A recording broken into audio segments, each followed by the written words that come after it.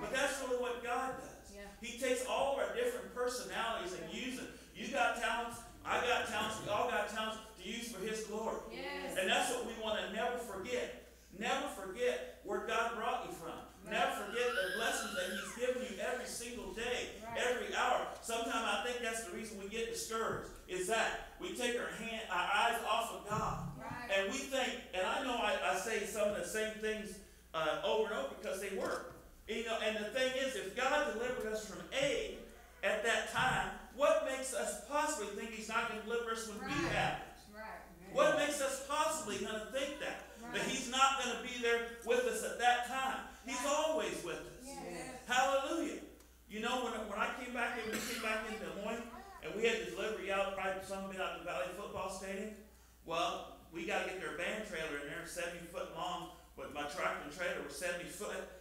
And, and they were going to meet me out there by an hour, but actually they, they came out there a couple hours before we got out there and said, Tim, we came ahead of you to keep the traffic out of the way because I'm pulling a semi in there, you know? And I thought, hallelujah.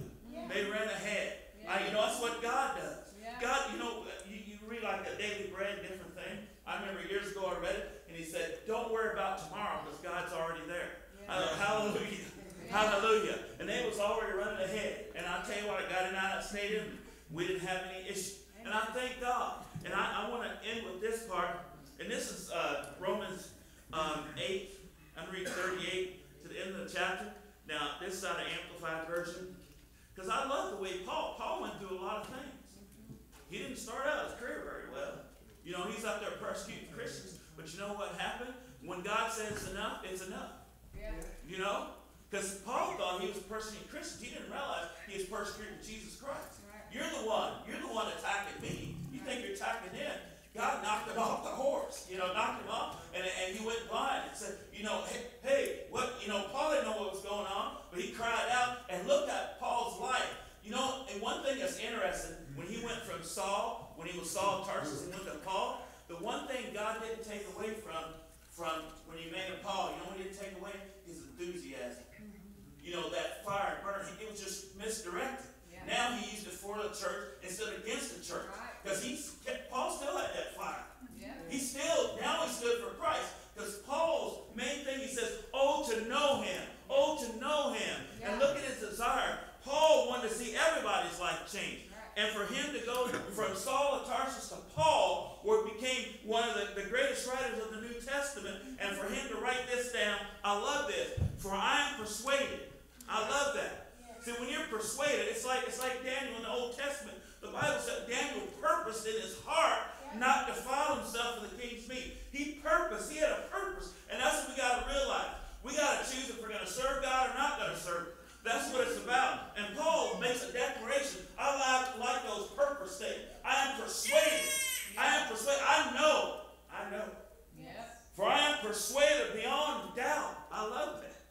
I am sure that neither death, nor life, nor angels, nor principalities, nor things impending, or threatening of things to come, nor power, nor height, nor depth, nor anything else in all creation, in all creation, just think about that, in all creation, so separate us from the love of God, which is in Christ Jesus our Lord. Hallelujah. Hallelujah. Is that powerful? Nothing. Nothing can got to bring your heart away from Jesus. Right. If you're persuaded, I love that. I love it. For I'm persuaded beyond doubt. I am sure. That's what it comes. Are you sure today? Sure who you believe. So we're gonna go ahead. We're gonna go ahead and open this testimony time up to praise God right, right away. Right away. That's all right. Um, Berta, It's good to be back. yeah, good to have you. I've been gone for a while. It's been crazy, but you know things are progressing uh, very well, and, and everything's been going good. so just a couple of things. Uh, I want to thank God and praise Him for taking care of Kelly's situation with her work. Um, she was going through a lot of stressful times because of some changes that are happening. And uh, Friday, she got notice that she got a job that she applied for. Uh, all taken care of. Hallelujah. Um, and also for prayer for my aunt. She starts dialysis tomorrow. Okay. Uh, thing that this situation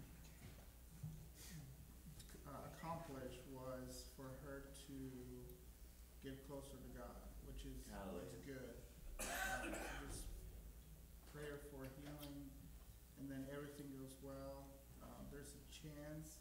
My dad is trying to work this out somehow, and you know I love him because he's crazy, but he makes things happen. Um, to see if she can come for the wedding. She's handicapped, Okay. but if if anyone can do it, other than God, it's him with his creativity. So we'll see what happens. Hallelujah. Yes, we'll definitely pray and, and that's what good, because the Bible said, is anything too hard for the Lord? And the Bible says, for with God, all things are possible. Yeah. You know, one, one day I was, I was talking to God about just some things going, and, and it's like God spoke to my heart. I deal in the impossible.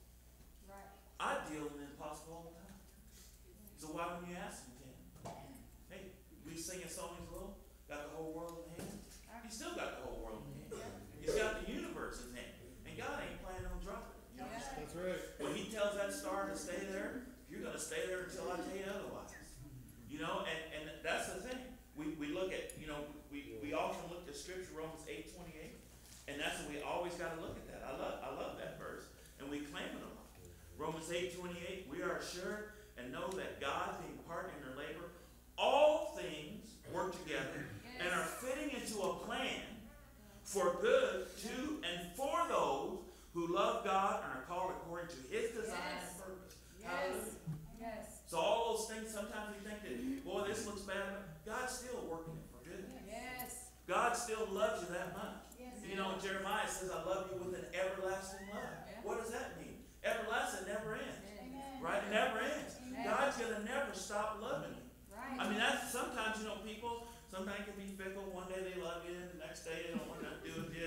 You know, you can say the wrong word one time, and they're, you know, they don't want to do, but I'm glad God's bigger than that. Yeah, You know, you know, God's long suffering. Right. I mean, just think if, if every time I remember, and I know I shared this before, but there's times I didn't didn't go to church as often, you know, and you read the sit home reading funny papers instead of reading the Bible.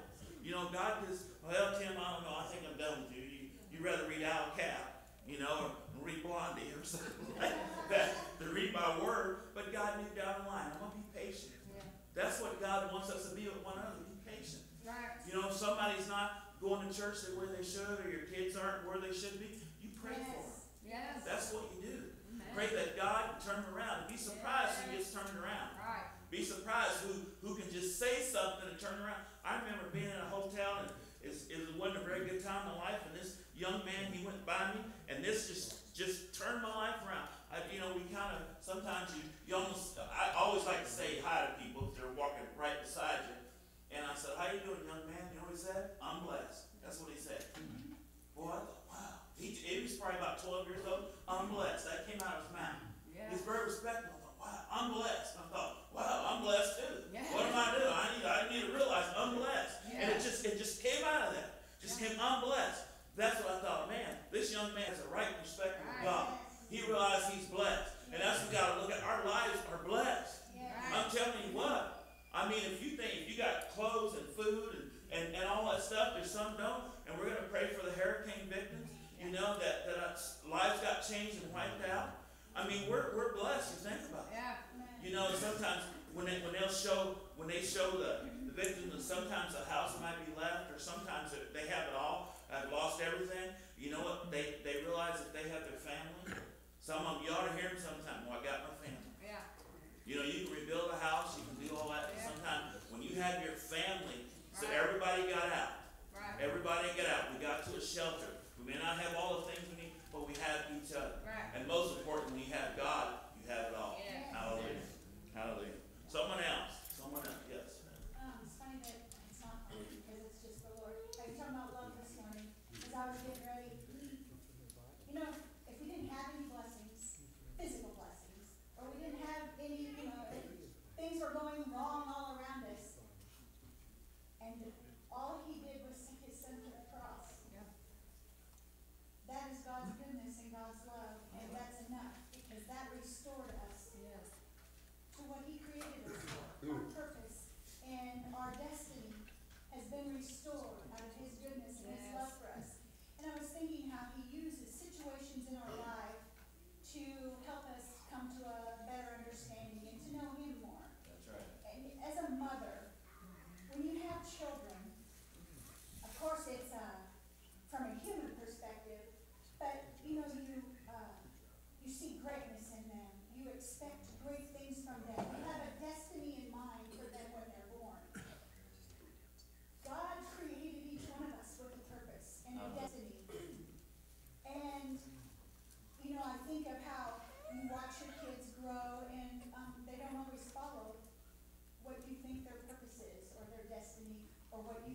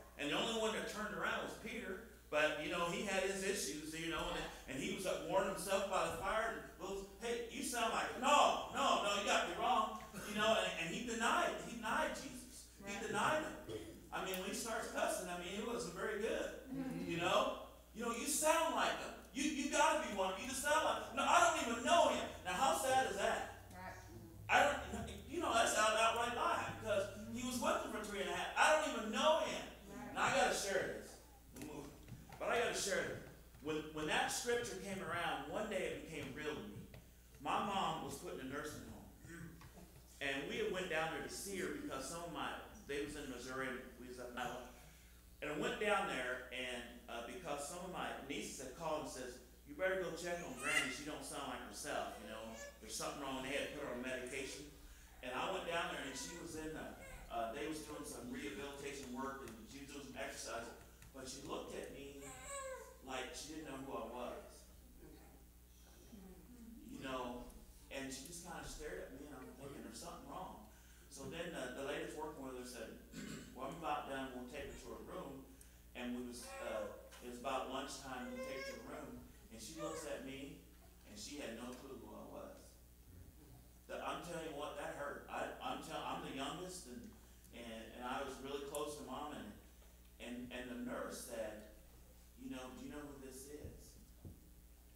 And she just looked like, that's your son Tim. Then her face lit up. I couldn't take it, folks, let me tell you.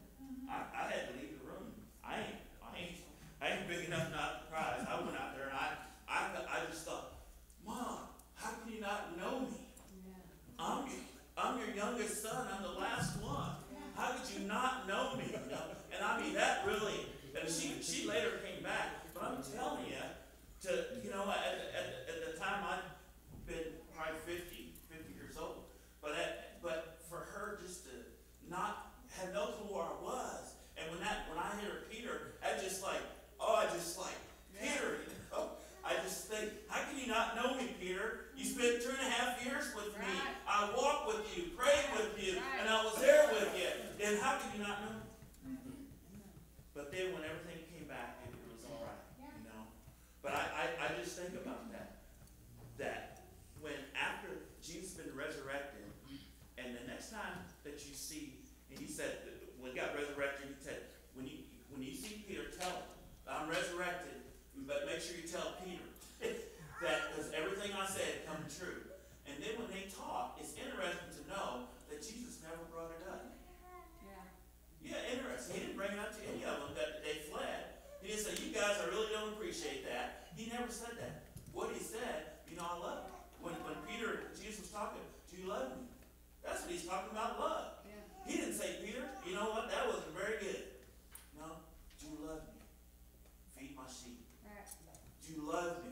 Right. If you love me, you're going to go out and you're going to tell the others how much you love me Right. how much I love them. That's what you're gonna do. You know, do you love me? Do you love me? Yes, Lord, you know I love. And look at Peter's life, especially after the Holy Ghost came in. Yeah. Boy, I mean, he was a fireball. Right. But but he but he had to learn some things. Peter had to learn some things. And I, and I think one thing about it is never forget, folks, how much Jesus loves you. Never ever forget that. If you deny or something goes wrong, always remember this. Which way did Jesus die? He died like this. Yeah. You ever notice that? He died like this, this was across because his arms are wide open for us. Yeah. That's the way he died. Yes. He died for you. Yeah. Hallelujah. Okay, someone else. Amen. Praise the Lord. Yes. Um, I have a couple testimonies. Um, my brother was in that hurricane. Oh. So he lives probably forty miles offshore, inland, and that's where the worst of it was. The shore didn't get as, uh, bad of wind and things as the inner, inland did. But he said, he goes, we got a lot of rain for a while, so he was enduring it for like five hours, and he lives in a trailer.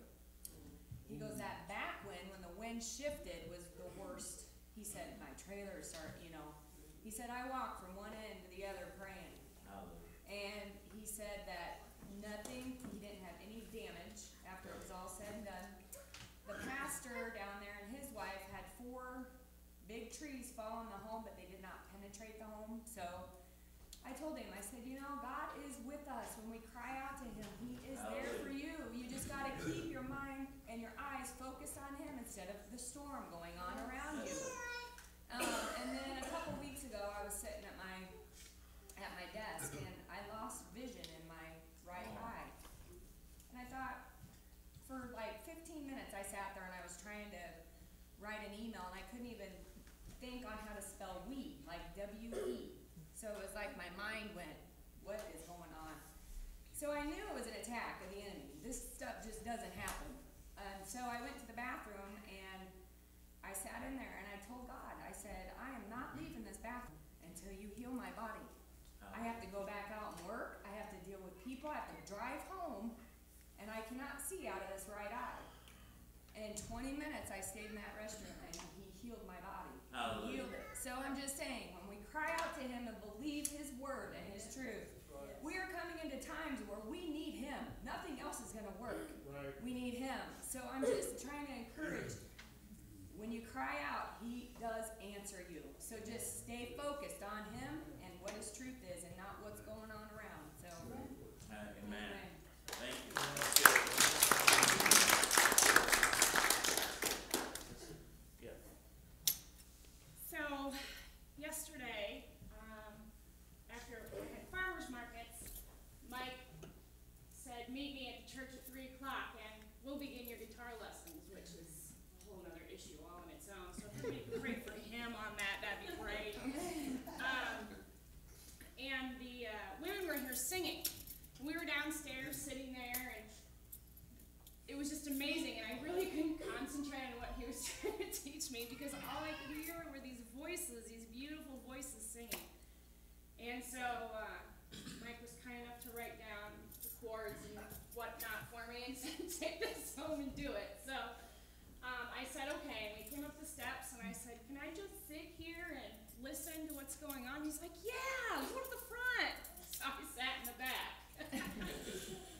And I was just sitting there, just watching and listening, and I took a couple videos, and you know, he's up there trying to help them, and I just remember thinking, wow, that's pretty cool, because I don't think I would ever just go up there and say, hey, can I help you?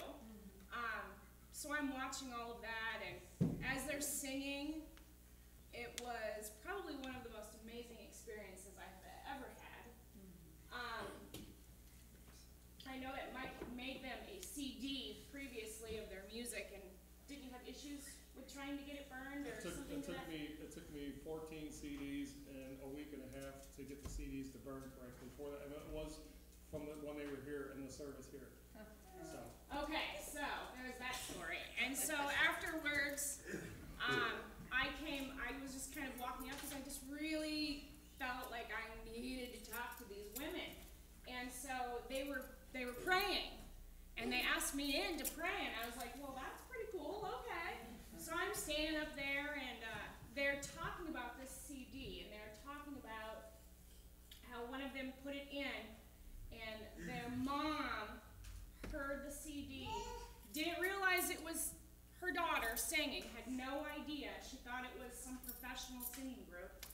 And then um, started to like hold her head, and she's like, Mom, what's wrong? What's wrong? And she just said, The Holy Spirit, the Holy Spirit, the Holy Spirit. And just everybody started crying. And so everybody was talking about their same experience with this music on this CD that was such a struggle to create in the first place. And everybody was crying, and I said, I don't know about you guys, but I was sitting in the back of the church listening to you worship and praise and sing, and I was bawling like a, like a little kid, just just tears streaming down my face. And I said, and God gave me a word for you. Now, if anybody knows me, I'm very outgoing and I love to be around people, but I I don't talk to people like this. I don't walk walk up to somebody and say, Hey, God just gave me a word for you and I think I should give it to you. So it was kind of freeing but scary at the same time because I'd never done it. And I said, um, God gave me a word for you, and I really believe that you are to come to the youth, to our new, our next generation. And you need to be able to do what you're doing because when I was listening to you, I could feel how much God loved me. Mm-hmm. And our youth have no idea how much God loves them mm-hmm. and how important they are to Him. Yes. And I said, it's so important that you can get out and do this because we need to reconcile their hearts to Him. Right. And one of the, and I'm just sitting there bawling, giving them this word, which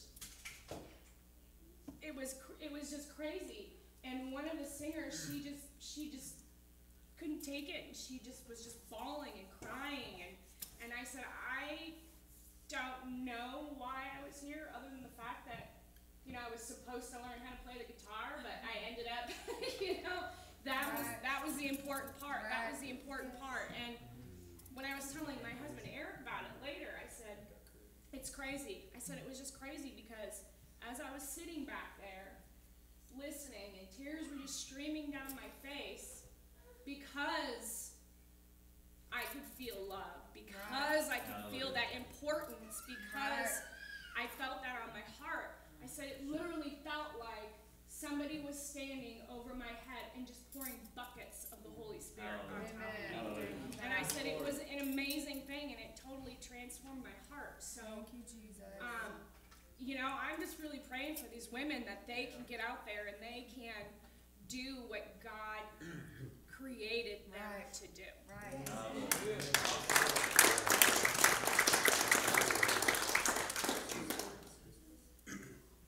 Uh, Sarah had brought up an interesting point about reconciliation. It kind of ties together what Tim was saying this morning was saying. Uh, You know, and, and I've been studying, I mean, I'll get on a certain verse sometimes God will keep me there, keep me there, keep me there for a long time. And where he's had me at lately is in Second Corinthians five. And towards the end, it's really, it's really interesting because, uh, what they're saying is that he, is Paul is like begging people. He says God begs you, begs you to be reconciled to, to him through Jesus. And so the interesting thing is, is that he's talking to Christians. He's talking to church. He's not talking to somebody who's not saved. So he's not asking to say the John 3.16 prayer. He's saying in your hearts, you need to be reconciled to the Father. And that's the whole reason that Jesus came, was so that God could reconcile us back to him, back to his heart, so he could fill his love inside of our hearts. And as we walk in the flesh, you know, as we, as we, you know, it's not a done deal. You know, I think it's religion, you know, the church has really shortchanged us over the years. And the reason is because they say, you said the prayer you're in, brother, you're in. Now just confess these scriptures and you're in. But it's not because it's a journey. Just like Israel had to take this journey through the wilderness. Like Jesus went out and took this journey in the wilderness. You know, and the Holy Spirit came upon him and he was empowered. And that's what we're supposed to do. You know, he's made that path to the Father. Now we need to be reconciled, and the reason is so we can become creatures Yes. of love, so that we can Right. love and show the younger generation, Yes. show the world who He is through us, becoming Right. a living epistle. Yes.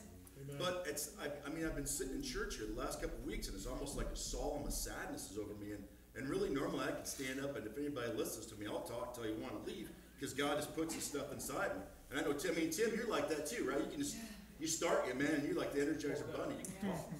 But it's like, I think God's just calling people. It's like, just be reconciled. You know, He's calling, He's calling, He's calling. And He doesn't want us to ignore it and just go on.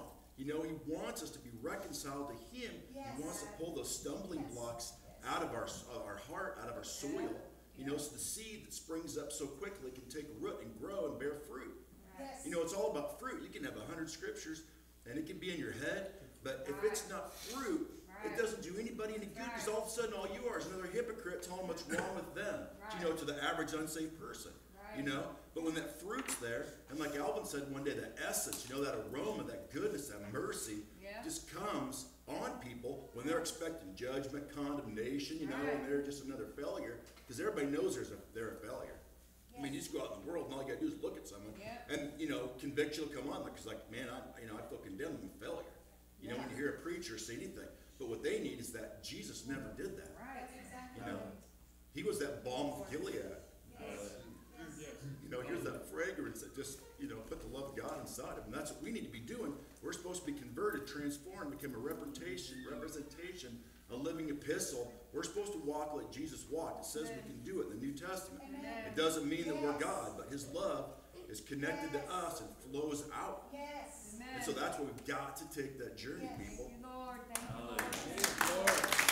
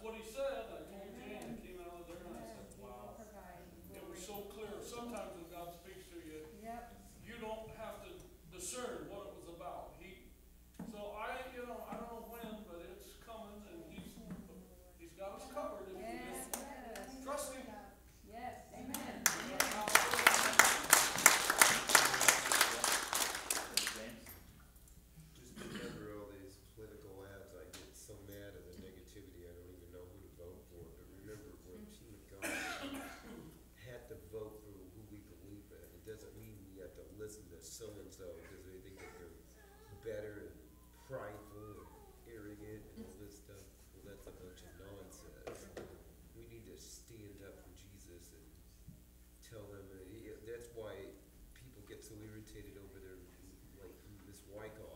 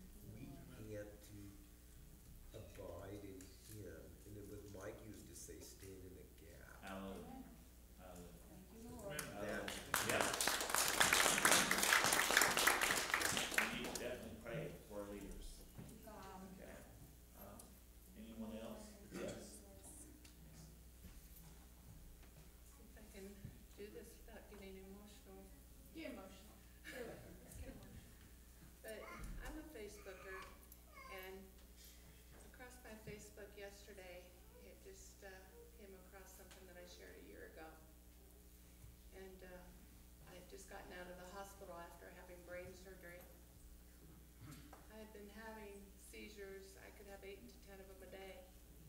And after having eight of them consecutive without coming out of the first one, they decided that I needed to go to Iowa City. And I saw doctors there. And at the time, I was on 4,500 milligrams of medications to try to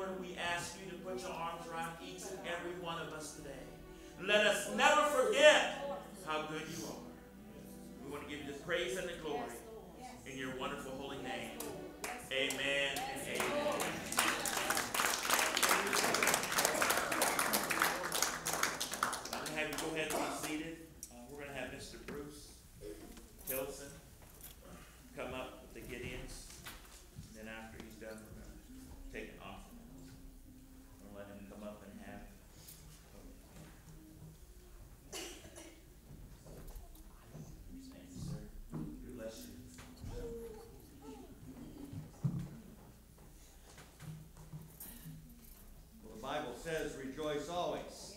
And in all things give thanks. It also says that God is still in control.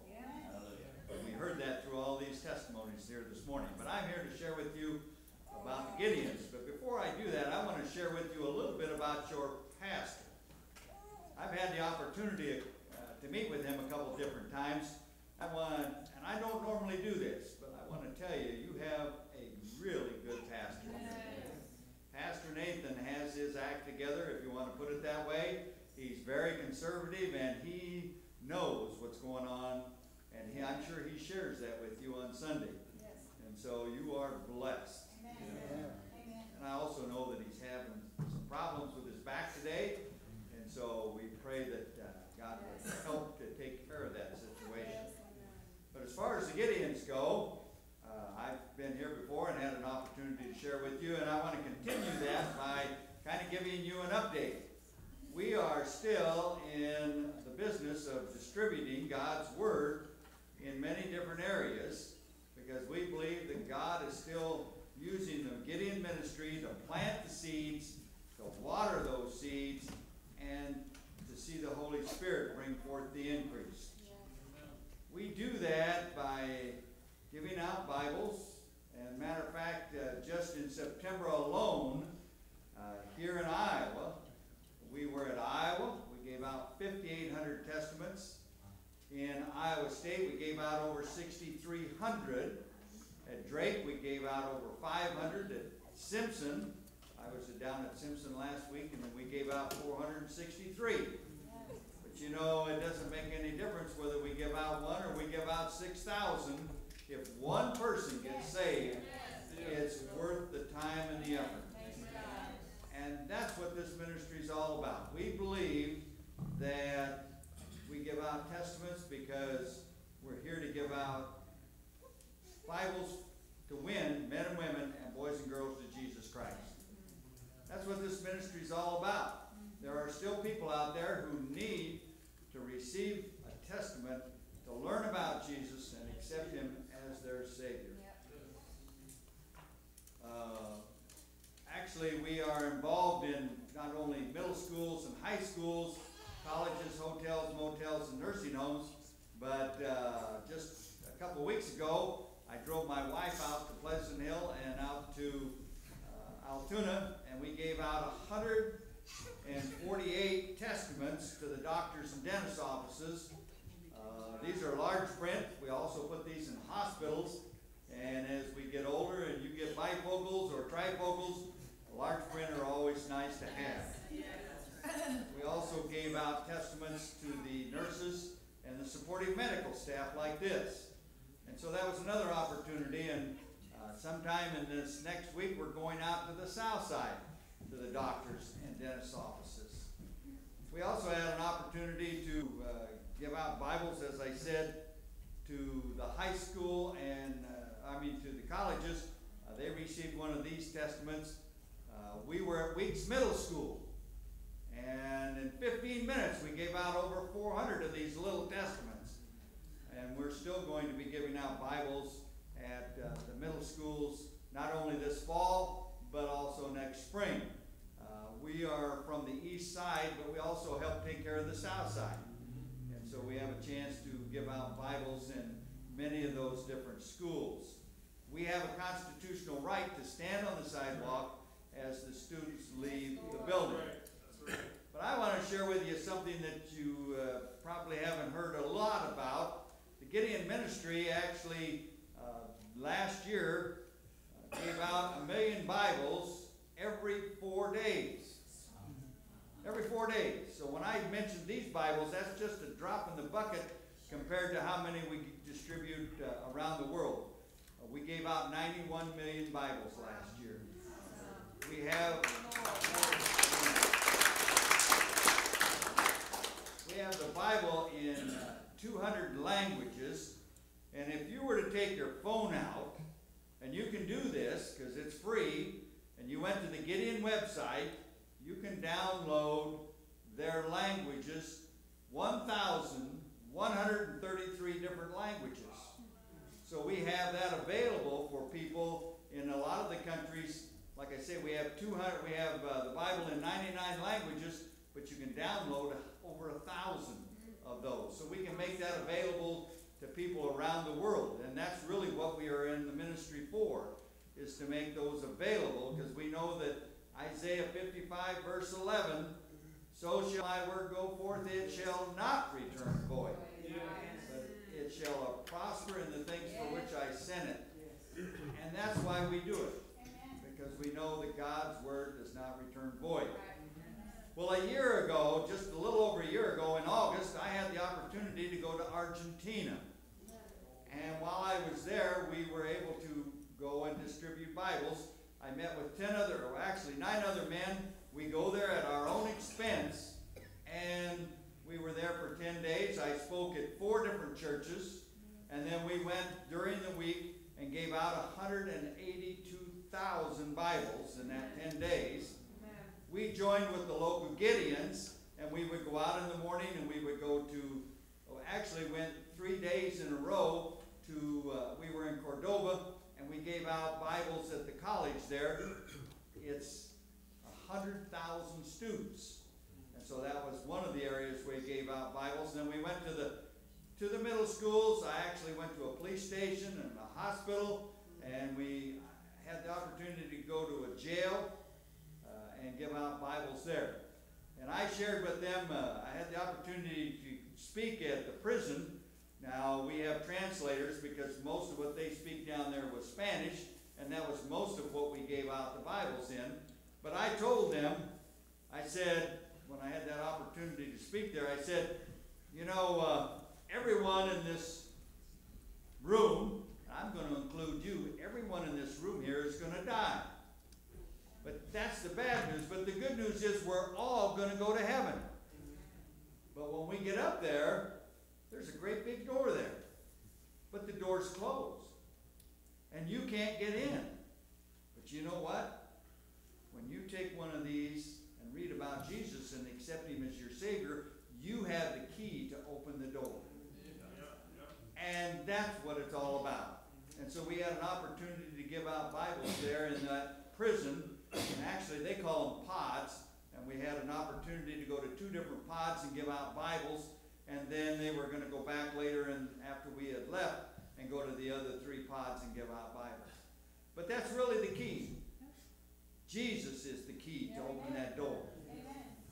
And sadly to say, some people don't have that key. But we know that as we give them out, God can change lives and change hearts. That's what the ministry does. It's uh, interesting uh, because when we were there, there was several things that happened. Uh, we went to Chile, and we were there. Uh, Brad and I got there a day early, and we stayed in Chile before we went on down to Argentina. And so we were there for that night and had a chance to see the city. We went down then to Argentina, and when we left, we had to fly back through uh, Chile. And when we got back, two weeks later, they had a 8.4 earthquake in Chile. So we just missed that by two weeks. So you don't think prayer makes a difference? One of the teams had an opportunity to go out uh, to a base where there was a military base. They went and parked their car, went in and talked to them, and they said, well, you can come back in an hour, and we will then let you give out five thousand Bibles to the men in the, the military and women.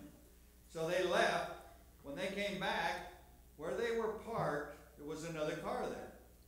But there was also a tree that had fell on that car while they were gone. So if they had stayed, had stayed there, there's an opportunity that they may have been killed. So again, prayer changes things, and this ministry is built on prayer. And I say that because they were, they were praying for our team while we were gone. And we pray for all of the teams as they have an opportunity to go to other countries. Uh, We have a prayer breakfast every Saturday morning. We not only pray for the ministry, we pray for the churches. We pray for all of the churches on the 19th of each month, but our camp prays for three different churches each week. And so every once in a while, Pastor Nathan receives a letter, and we have signed that saying that we have prayed for him and your congregation.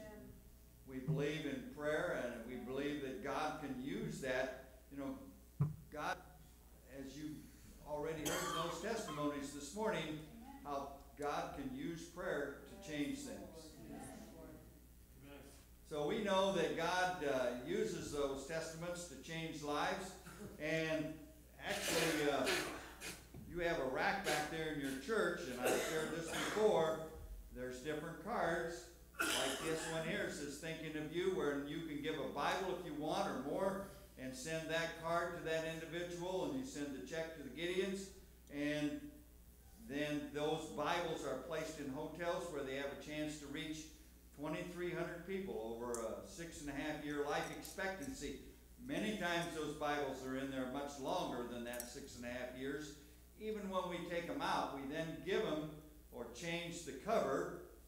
Uh, that's because, believe it or not, you take this cover and in the prisons they'll take the cover off and they'll use it for a weapon. I don't know how they do that, but you know they're very creative in the prisons. We now have a Bible that we can buy, and we give. Uh, it's a softbound cover, like this one. I should have brought one with me today, but uh, that way we can give them right to those people in the prisons. And uh, we have Jerry Van Cleve. He is the chaplain at the Polk County Jail. We're taking between 100 or 75 and 100 full testaments to him every month. And he then makes sure that the inmates have one if they would like one. And I, he, what he tells, because I've heard him talk a couple different times, it's interesting. When they get out of prison, they'll ask uh, them, "Would you like a, a new Bible?" They said, "No, we want to keep the one that we received while we were in prison." And so it shows that they're not only reading them, you know what, they're a captive audience. They got all day to read those Bibles. And so a lot of people are accepting the Lord through his ministry. Actually, it's through the Lord's ministry. Thank you, Jesus. But I wanted to share with you, uh, there's also one here that says, in recognition of your achievement, uh, we're sending, our camp is sending these to pastors. This happens to be October Pastor Appreciation Month, so he's gonna receive a, a card, and we've signed it inside and said we're giving a Bible in honor of your service to the Lord in this church. And if you'd like to do that, you can. You can do it for twenty-fifth anniversaries, fiftieth, birthdays, a promotion, somebody maybe, uh, uh, retired. There's all kinds of opportunities to use that type of card. And this one here, of course, is one that's in memory, and if somebody passes away, you can give one, two, three, or whatever number of Bibles you'd like. And those Bibles, uh, that are given through this program are placed in the hotels and have those opportunities to reach people. I can share with you one last thing, and that is, uh, when you give through this card program, when you give through your church, a hundred percent, not seventy-five, not eighty percent, a hundred percent of what you give goes for Bibles. If you have a telemarketer call you, ask them how much of what they're asking you to give out of ten dollars would go for what they're calling you for. Uh, I can guarantee you, it's not hundred percent. In some cases, uh, you're lucky if it's fifty percent. So, when I ask you to give to this ministry, I'm asking you, uh, and telling you a hundred percent goes for Bibles. And just to show you how that can change a life, and it can change more than one life, because in many cases, a family may get saved through that testament, not just one Bible, but the whole family may. And one of my favorite testimonies that I like to share is about uh, Jose. I don't remember if I shared this one with you. I just like it because of how it affects and changes lives. Uh, Jose uh, actually was always getting in trouble, and in this particular time, he broke into a girl's dormitory. And while he's there, he was trying to steal some things, and the girls came back and caught him while he was in there. And so they started throwing things at him, and one of the girls had received a little orange testament. She threw that at him. Well, he grabbed that when he was running out the door, along with a few other things. Later on, he started to read that little testament, and he found out that Jesus loved him, and he gave his life to the Lord. Matter of fact, there's a place in the back of each of these little testaments. John 3:16, for God so loved the world, also that we are all sinners and that we can all be saved now. And he said that sinner's prayer and he gave his life to Jesus. Well, he went on to go and become a pastor. And he became a pastor of one of the churches in that local area. He also married a girl from that church. It just so happened by accident that was the same girl that threw the Bible at him.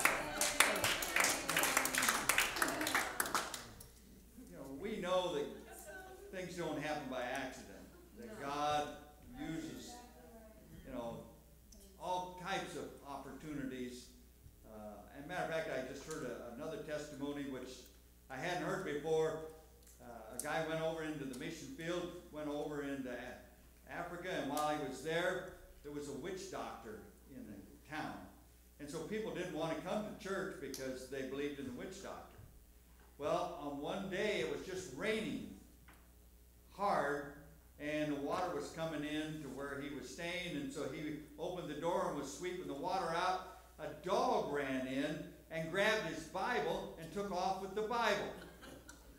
And he didn't know where the dog went with the Bible. Two weeks later, the witch doctor knocks on his door. The witch doctor had his Bible. He said, a, a, a dog ran into my place and dropped that Bible and left. And the witch doctor read that and got saved.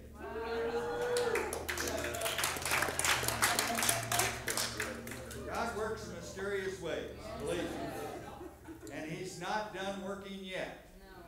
He's still in control. God is good all the time. So, anyway, I, wanted to share this with you about the ministry. Uh, we have a goal that we call it 2020. And we have been praying for over five years on this goal of 2020. And the goal is to give out 120,000 Bibles by the year 2020. Well, we're at 91 million, and so we're, we're on our way, and we're not giving up yet. We have 260 or 270,000 men and women who volunteer their time to distribute Bibles throughout the world. And you know, it says in Act or in yeah, in Acts 1:8, when power comes upon you, you will be my witnesses. Not only Jeru- Jeru- Jerusalem, Judea, Samaria, but to the uttermost parts of the earth. And like what you kind of mentioned this morning, I believe time is getting short, and so we have a lot of work left to do. Uh, there's seven billion people almost in the world today, and so we're still trying to reach all of those people. And God died not only for one, it was just me, He died for all of us. So, we still have a lot of work to do. Thank you for letting me share with you, and God bless you.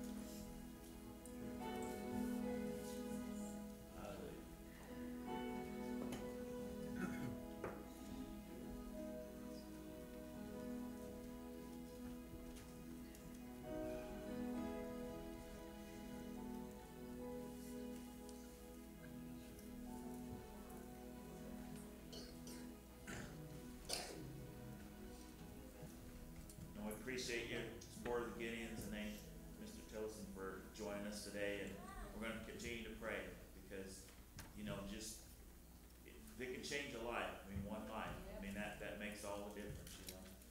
And, uh, what we're gonna do now, we're gonna go ahead and stand and as we do a tradition our church, we're gonna speak the word. And, uh, just a reminder on the cell phones,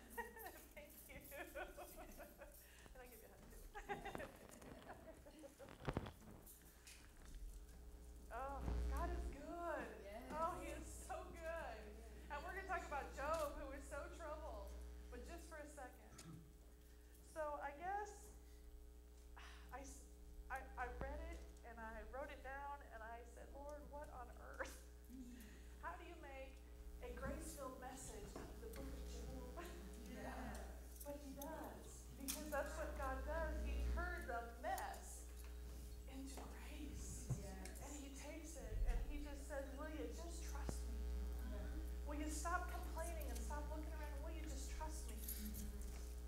And I'm not going to read a whole bunch of the scriptures. I was going to go through all the scriptures, but I'm not. For, for those who aren't familiar with Job, he was a righteous man. God was bragging on him. And Satan came with the angels to give their report to God.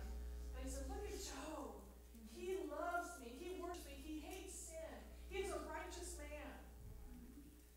And Satan says, Wow. He only does that because you protect him. You won't let any bad come upon him. And the Lord says, All right, test him. But you can't hurt him. So, Satan went. And he had free rein in Job's life. And he took all that Job had, he took his children. He took his livelihood, he took his crops, his, his animals, his livestock. But he wouldn't curse God. He wouldn't turn his back on the Lord. He said, You know what? The Lord gives and the Lord takes away. And Satan still wasn't satisfied. So he said, See, God comes back, chapter 2. Comes back to God, and Satan's sneaking in to, to rat out somebody to stir up some trouble. And the Lord says, See, even when you took all the stuff away, Job still loved me. He still loves righteousness and hates sin. And Satan, not satisfied, says, Well, he's in perfect health. You deal you you you you mess with a man's health and he, he won't worship anymore, he won't love you anymore. And God said, Yes, he will. You can you can you can do whatever you want with his health, but you can't kill him. So Satan did, didn't he? He it was described as having pus filled wounds all over his body that he had to use a broken pot to scrape off all the pus. That's deplorable. That's hurting. And it got to Job. He was miserable. He couldn't stand to be in his own skin. And he started to question. And then his buddies came over, right? Three of his friends came over. Great buddies, encouragers, right? Yeah. Not so much. And they and, and so they sat down, and I'm gonna just read a couple verses. So his buddies show up, three of them, from afar off, because they heard, oh man, righteous Job. Now, were they coming to encourage him? Were they coming to investigate? Oh, I, I knew, I knew he was going to fall off his high horse. That Job, nobody's perfect. Nobody's perfect, right? Now, were they coming? What were their hearts? I don't know. But they came. And so they sat down with Job upon the ground seven days and seven nights, and none spoke a word unto him, for they saw that his grief was very great.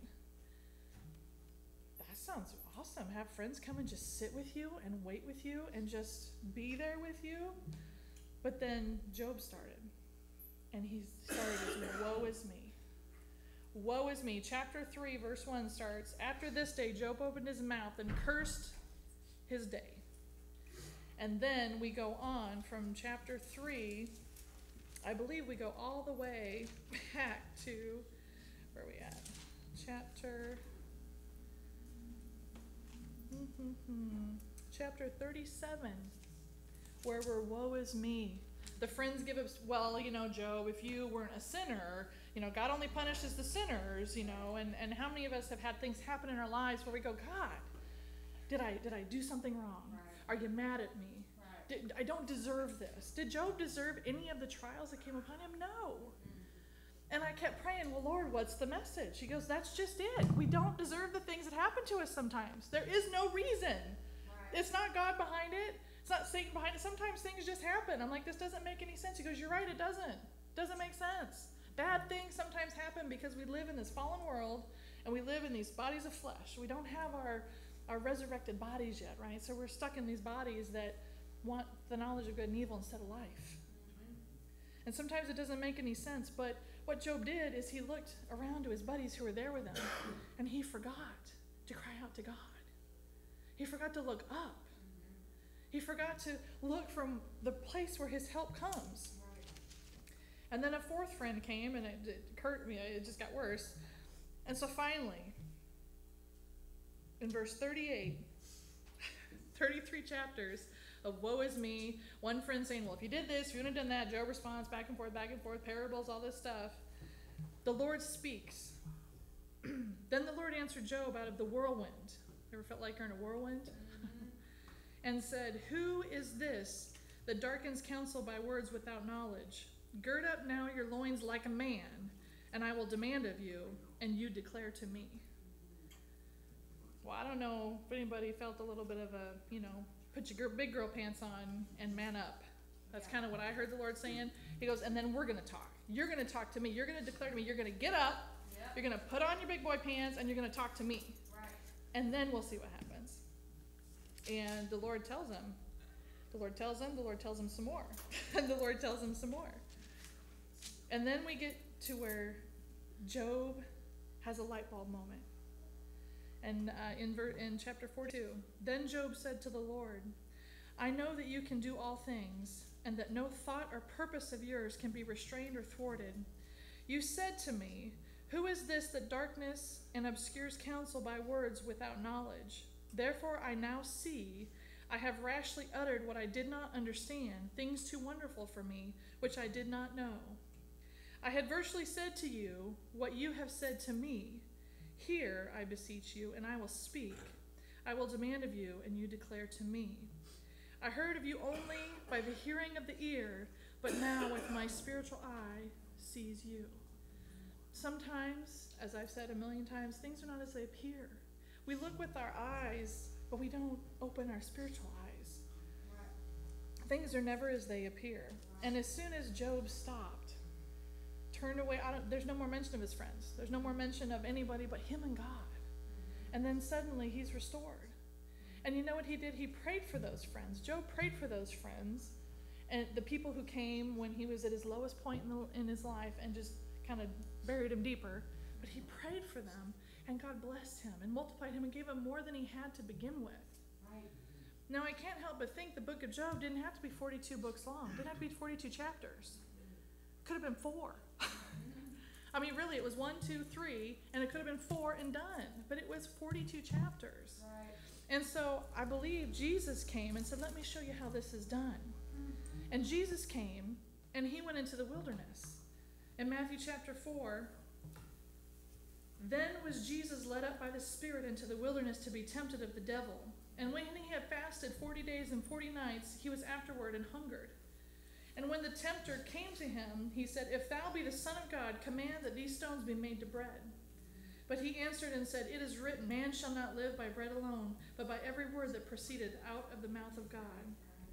Then the devil taketh him up into the holy city, and setteth, and setteth him on a pinnacle of the temple, and saith unto him, If thou be the Son of God, cast thyself down, for it is written, He shall give his angels charge concerning thee, and in their hands shall they bear thee up, lest at any time thou shalt dash thy foot against a stone. But Jesus said unto him, It is written again, Thou shalt not tempt the Lord thy God.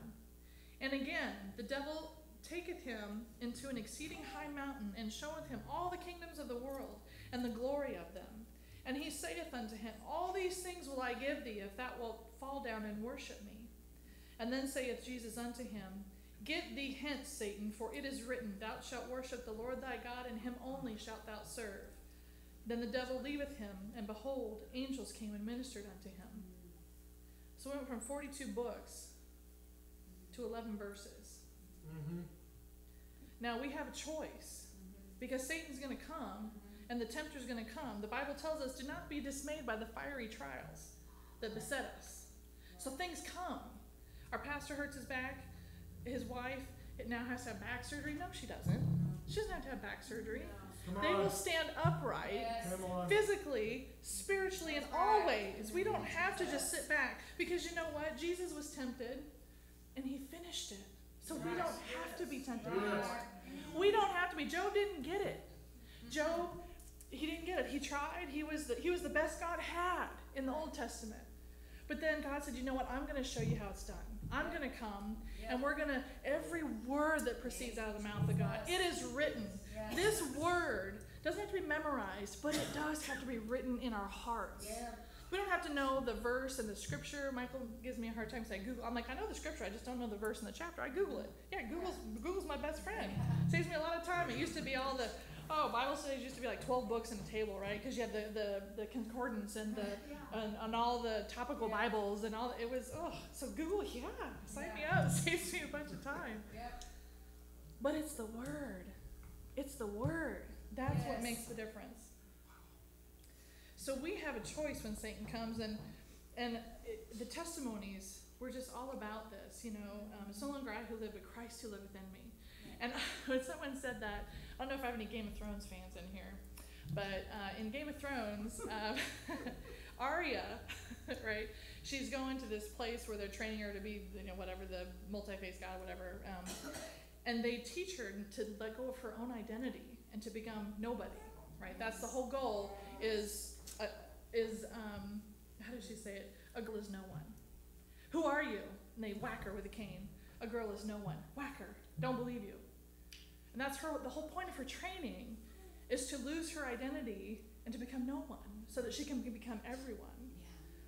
Well, it's kind of the same thing. Not really. Sorry, Lord, for the Game of Thrones reference. But we is no longer. I yeah, somebody knows. Roberto knows. He watches Game of Thrones. It's no longer I who live, but Christ in me. That's exactly Right. There it is. Suzanne, who? Yes. Satan comes to rebuff me, to rebuke my body. Right. Jesus Christ died Yes. and rose again. Yes. Yes. He died a Yes. death Yes. that no one else will ever die again. Right. And and we're worried about what? Exactly. And we're worried about what? I know. Uh, Do we do we and, and I'm telling you, our friends, God bless them, they come to help us, to pray, to commiserate. Yeah. We need to just stop Yes. and speak to the thing. Yes. To speak to the mountain. The Lord said, We will speak to the mountains and they shall be removed. Not to pray about moving the mountain, not to pray about the mountain being in the way. To speak to the mountains and they shall be removed. come on. And so, uh, let's see where we go next. In Second Corinthians, oh, I already did that one. Yep, got that one. Okay, so, okay, so so this morning, this morning, I've been praying a lot since last night because I wasn't sure what the Lord wanted to say this morning. And this morning I woke up and I kept, and I, I heard the song "Amazing Grace." Mm-hmm. Amazing Grace, and I was Yes. singing, "How sweet the sound." Yes. And I thought, I never noticed that before. How sweet the sound. Mm-hmm. How sweet the sound. Yes. I have never thought of grace as a sound. What does grace sound like? Oh, I'm sure it's sweet. I know it's sweet. I know it tastes sweet. Yes. It tastes good. It feels good. Yes. It what does it what does it sound like? Does it sound like chains falling off? Does it sound like that door being unlocked? Does it sound like the feet of the of the prodigal son's father Yes. running out to embrace his son who found his way home? Grace sounds like you are my beloved child in whom I am well pleased. Grace sounds like you are accepted in the beloved. Ooh, feels good. Grace sounds amazing. Grace sounds like a mighty rushing wind when we're filled with the Holy Spirit. Yes. Thank you, Lord. Grace can sound like nothing at all when all of the angels of heaven are silent, waiting for one person to say, Yes, Lord. Jesus, I believe in you. And then the chorus of applause and the rejoicing that happens when one person, Yes. when one person says yes to the Lord. First Peter chapter 4, verses 12 through 13. Oh, that's fiery trial. We already did that one. I'm going to go back to 2 Corinthians then. 2 Corinthians 12, verse 7 through 10. I don't, I don't remember what's in my notes. Peter. Yeah, Peter, right? Peter um, doesn't know whether he's in his body or whether he was out of his body. He saw this heavens. He saw the third heaven. I want to see the third heaven, but Peter got to, or Paul, excuse me, Paul got to see it. And he said that because he had seen so much, that there was this thorn in his flesh. There was this thorn in his flesh, and he prayed three times to make it go away. And the Lord said, My grace is sufficient for thee, for my in for my strength is made perfect in weakness. Now does that mean that we're supposed to just take these things? It means we pray and we let it go, right? Right. We pray and we let it go. We believe and we let it go. It's my husband and our it's our theme this year. Let it go. Let it go. Prayed three times, the Lord will speak to you, right? The Lord will speak to you. Don't don't buy it. Lord, what do I do?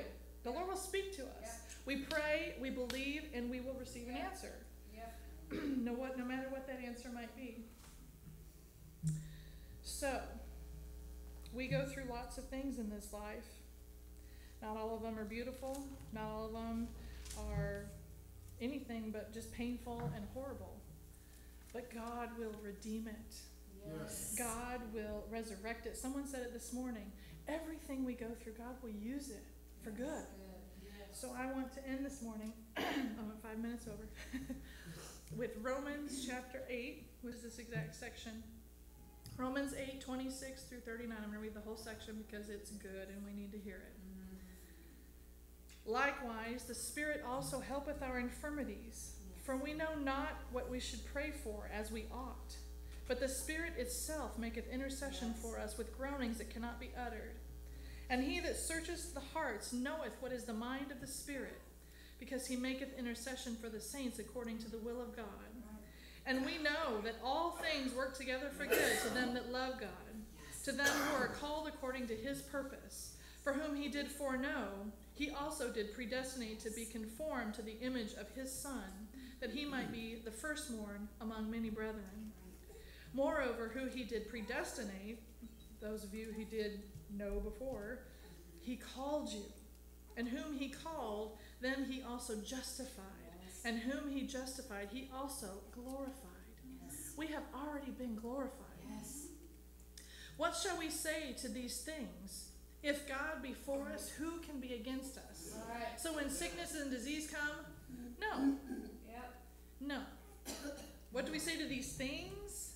Right. We're speaking to the mountains. He that spread he, he that spared not his own son, but delivered him up for us all, how shall he not with him also freely give to us all things? Who shall lay anything to the charge of God's elect? It is God that justifieth. Who is he that condemneth?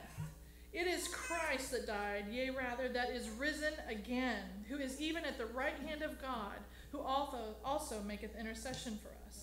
And remember, the right hand is the righteous right hand, the all powerful right hand, the position of authority and power.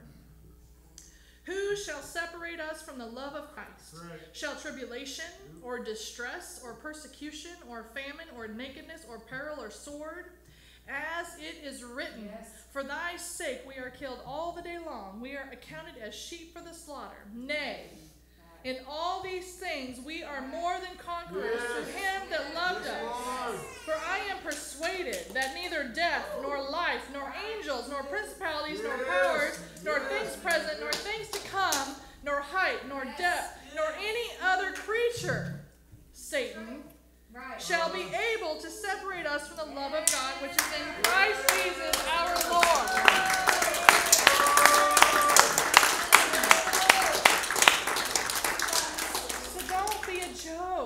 Be a Be Jesus. Come on. Be Jesus. Yes. Let's just. It is written. Right. Get thee behind me. Right. It is written. Get thee behind me. Right. Speaking to the mountain and moving on. Yes. Uh-huh. Speaking to the mountain and moving on. Yep. Because there is nothing. Right. We are not killed all day long, and we are not the sheep of the slaughter. Nay, in all these things we are more than conquerors. Yes.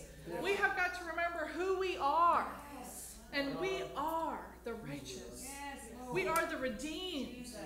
We are the resurrected. We have nothing to fear. Amen. So let's just go and just listen for the sound of His amazing grace. Yes. And when the mountains show up, we speak to Him and we move on. And kick the dust off our feet and we keep praising Him because He is worthy. Yes. In Jesus' name. Yes. Amen.